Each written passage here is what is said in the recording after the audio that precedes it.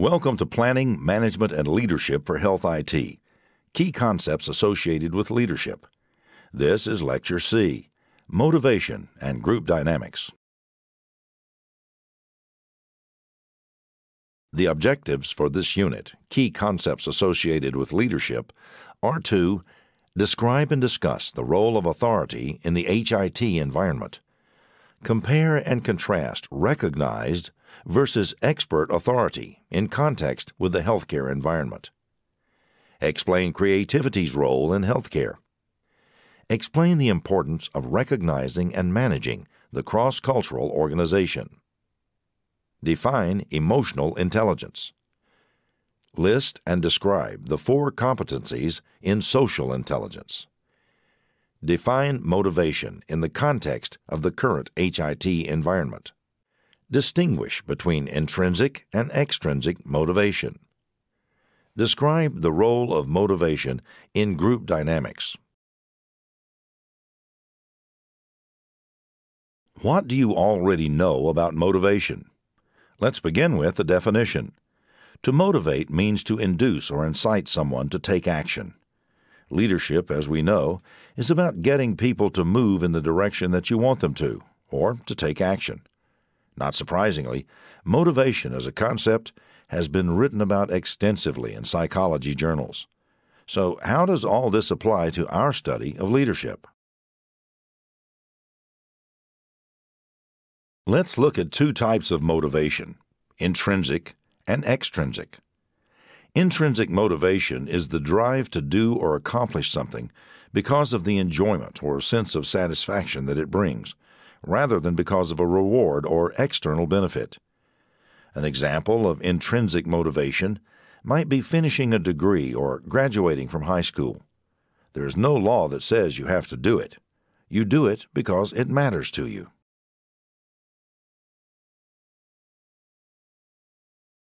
Now let's look at extrinsic motivation. Perhaps you conducted a science experiment in a college psychology class with lab rats. If you use cheese to reward the rat for navigating a wooden maze, the rat typically learned how to navigate the maze. Take away the cheese, and the rat only sees a complicated wooden box. This is extrinsic motivation. The rat is motivated to perform for a potential reward, cheese.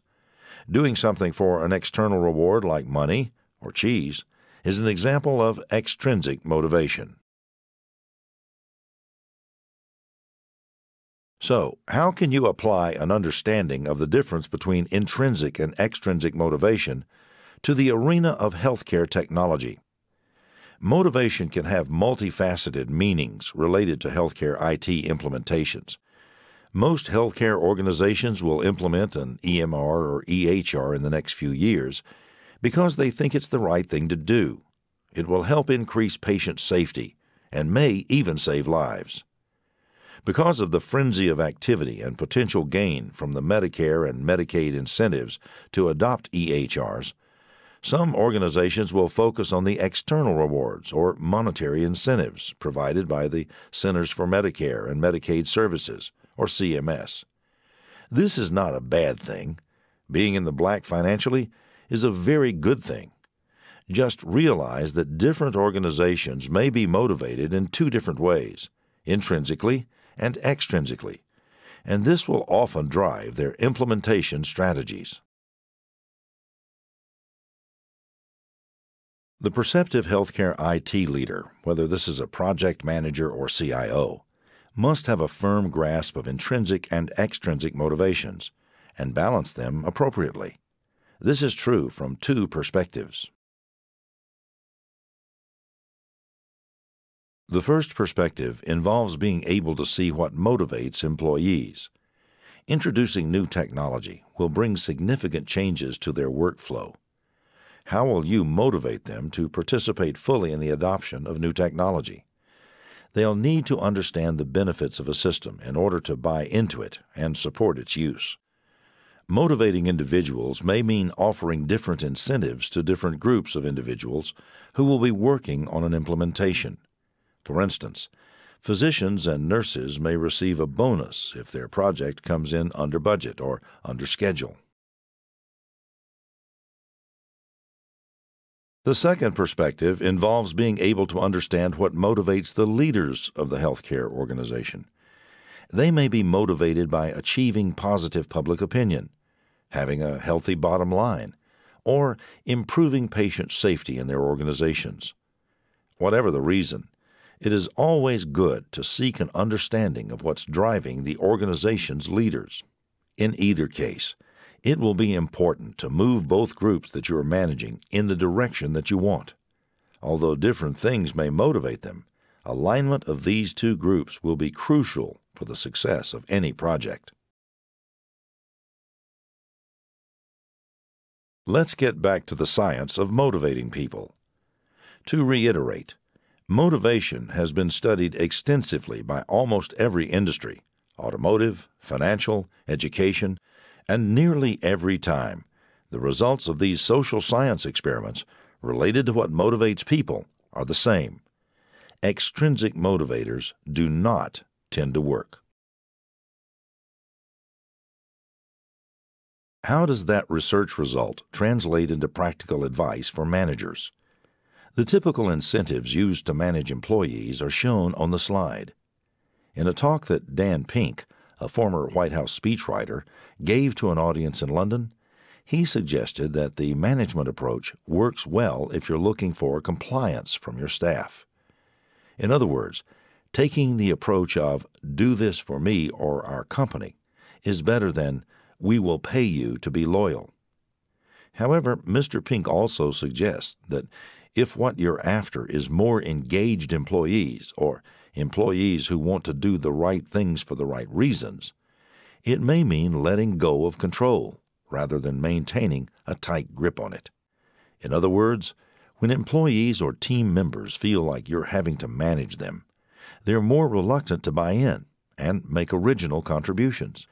It's as if you and you alone are running the show. If you want engagement, then promoting self direction is always going to work better. Here's a great example Google gives their employees 20% of their time to work on projects they think are interesting, but may not have anything to do with their work. Gmail, as a concept, was hatched during one employee's 20% independent work times. Although the Google example is interesting to think about, healthcare caregivers have all answered a call to work in this challenging field. They have gone through years of nursing or medical or allied health education and training, only to work long hours in sometimes stressful situations. They did this because they felt a calling to help make other people's lives better. Healthcare workers are usually intrinsically motivated to help people, and this is generally how you must motivate them in return. If nurses know that their work in helping implement the new system will indirectly help their patients, they'll be a lot more willing to come to the database design decision meeting. Pitching the implementation not from a this is what we've been told to do perspective, but from a what we're doing may save a patient's life by flagging drug drug interactions perspective. Clinicians will be more likely to listen. The take home message here is you should reiterate the reasons for meaningful use and its intended outcomes for direct patient care early and often. IT or technical staffers on an implementation, while they may be in the healthcare industry, are typically more motivated by doing work that creates improvements in communication between information systems. They bear the brunt of the work in a system implementation and have very specialized skills. They also work long hours and are also intrinsically motivated to solve problems simply because they're there. To the IT worker, something that is wrong can and should be fixed. They may focus on this problem solving aspect of the implementation and lose sight of why the system is being implemented in the first place. This is where it may be wise to educate the IT implementation staff about end goals. The goal of the ONC HIT Standards Committee is to create systems that can talk to one another and that will help improve patient care. Likewise, discussing the possibility of a health information exchange being created as a result of the team's effort may be another motivator. Help the IT workers to understand the end goal and to look beyond just the goal of solving a specific technical problem.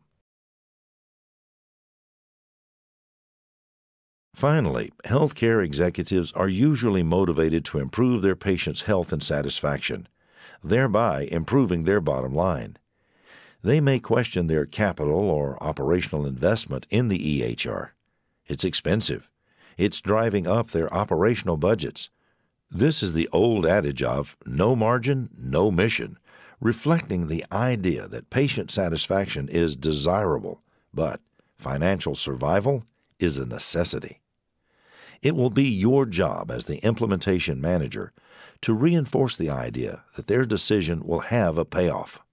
Without being a Pollyanna, you would probably do well to remind them from time to time that they are participating in an unprecedented time of IT adoption in this country. This is the ultimate long range planning session with potentially big payoffs. This reflects the idea of no mission, no margin. Let's talk about group dynamics. Given that there are several units that deal with team dynamics and teamwork, this topic will be visited here only briefly. But it is important to mention in the context of emotional intelligence and leadership. Warren Bennis, a well known author on leadership, once said of groups Great groups are vivid utopias. They are a picture of the way organizations ought to look sort of like a set of aspirations and a graphic illustration of what's possible. We are pretty sure that Warren Bennis has never undergone an IT system replacement at midnight on a Saturday night. However, note that he said great groups are like vivid utopias. All groups are not great, but once you've been a part of one, you compare all others to that experience. Groups must be carefully managed or they can take on a life of their own. They can be productive and democratic or volatile and repressive. In either case, emotional intelligence will play a big role, both in your observations of others' behavior and your own behavior. It's important here when talking about group dynamics to make a distinction between groups and teams. Teams tend to have a common purpose, whereas groups function to serve a more intermittent purpose. What are the other differences between a group and a team? Groups usually come together to share information and to help other people do their jobs. Typically, the focus of the members of a group is on their own individual goals, not the collective. An example of a working group is an interdisciplinary group that determines pay raises for a group of employees. This is a working group and not a team because it only needs to meet for a specific purpose during a brief period of time. The membership may be comprised of different stakeholders, for example, finance and human resources, and may even break down into sub working groups to achieve their end goal. Finance will want to ensure that raises do not exceed the budget for the year, and Human Resources will want to ensure that organizational policies are not being overlooked. A working group leader typically discusses the plan and assigns work to the individuals and holds them accountable for their part. Teams, on the other hand, tend to work toward a collective and common goal. Committees, councils, and task forces are not teams because each individual member's goals may be very different. Teams, on the other hand, tend to work toward a collective and common goal. They are generally convened to accomplish an overarching organizational goal. A team that is formed for the purposes of an implementation may have a life well beyond the go live of the new system, whereas committees, councils, and task forces come together to accomplish one or more intermittent goals and can be altogether disbanded or convened on an as needed basis. There are often shared leadership roles with a focus on the collective product. Whether we like it or not, we will all spend countless hours this year in project meetings. It is wise to hone in on your emotional intelligence skills in this setting. Meetings are a good way to use your group dynamics skills because there are so many things going on in every meeting. There's the declared subject matter of the meeting. One person could have a lot riding on the outcome of the meeting and may be hypersensitive to decisions made. Another person in the group might be tired or otherwise disengaged. Still, other people may be chronic aggressors who will take issue with anything that's said because of who's saying it. Added to this is the pressure of all eyes on the facilitator. While this person is typically a neutral party, the way the facilitator responds to the group is key. It's no wonder that meetings are a common place where people's motivations show up. There are three points that have helped many a project manager to manage group dynamics in meetings. First of all, set the agenda as far ahead of time as you can. Start with an agenda that has the item, The purpose of this meeting is to blank. The expected outcome of this meeting is to blank. With this type of transparency, nobody should be in doubt about what will go on in the meeting. When you set the agenda, determine which of the agenda items are worth an argument and which may need to be tabled to a later meeting.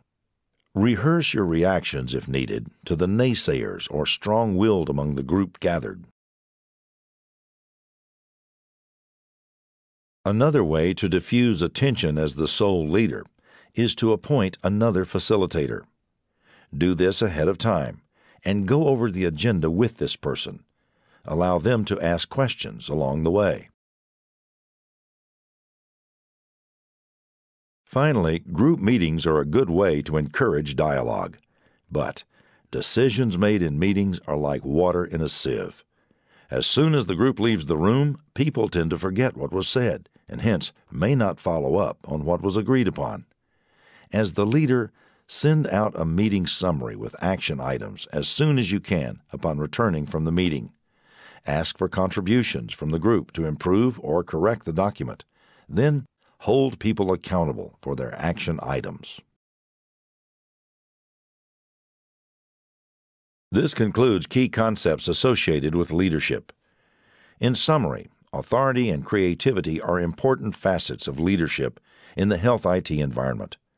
Successful HIT leaders have developed emotional intelligence well suited to the goal driven healthcare environment. Motivating colleagues and managing group dynamics are other key competencies of the successful health IT leader.